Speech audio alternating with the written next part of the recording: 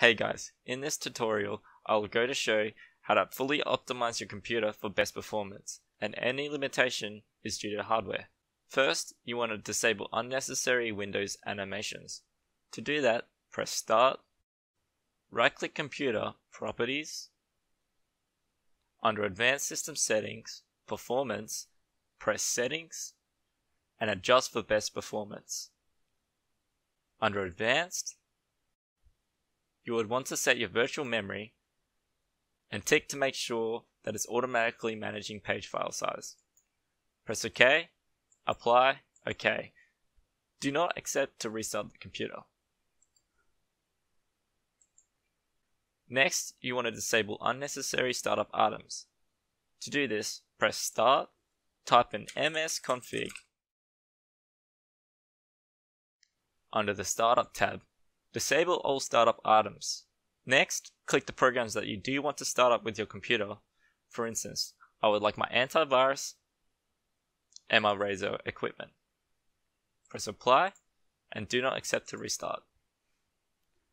After doing that, you would like to set the power options of your computer for maximum performance. To do this, go to control panel, type in power options, Then, under the preferred plans, click for high performance. Also, when your computer turns on, it takes a while to load all the desktop icons. To hide them, right click the desktop and click and under view, untick show desktop icons.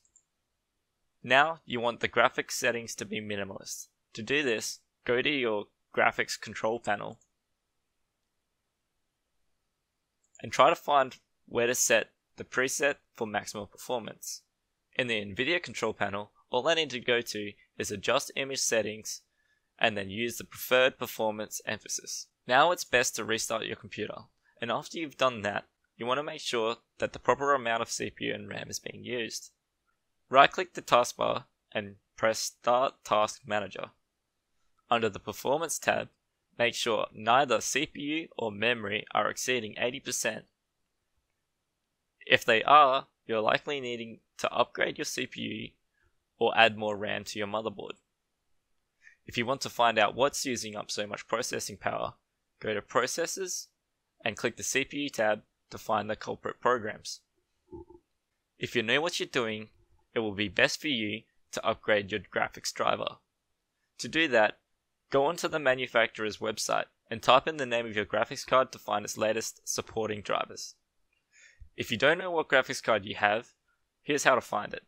By pressing Start, right click Computer, Properties, Device Manager, and then under Display Adapters is the name of your graphics card. If you're really concerned about performance, you're able to overclock your CPU to increase its clock speed. To do this, you need to press the specialist key while the computer is turning on to access BIOS. In BIOS, there will be a CPU settings page where you're able to apply a preset of higher performance or enter in a greater clock speed and voltage. You want to be careful when doing this, as your computer may not start up or has issues processing due to speeds that it can't keep up with. You're also able to overclock the refresh rate of your monitor. For me, all I need to do is right click the desktop and go to my graphics control panel under change resolution. I can create a customized resolution that supports the higher refresh rates. If you test it and it works, congratulations, your monitor can produce a custom refresh rate greater than factory. You want to make sure that your monitor is running at the quickest refresh rate that it can. Right click desktop under screen resolution, advanced settings, monitor. Then you want to hit the drop box for the screen refresh rate and click the highest hertz.